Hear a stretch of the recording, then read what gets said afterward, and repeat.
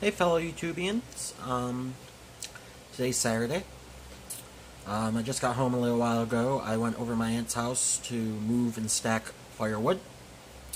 So my muscles ache.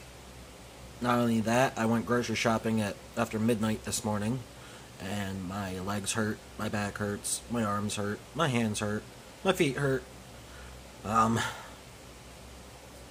I don't know why I put myself through going up to the grocery store after midnight. Because I get way too much stuff that's way too heavy for me to be carrying home. And I walk there and back. And it's quite a distance. Um, so, today I'm in a.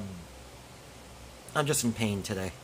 So, that's what's up with me. Um, I'm about to go do more walking because I have more stuff I have to get. Not groceries, but household items and stuff like that.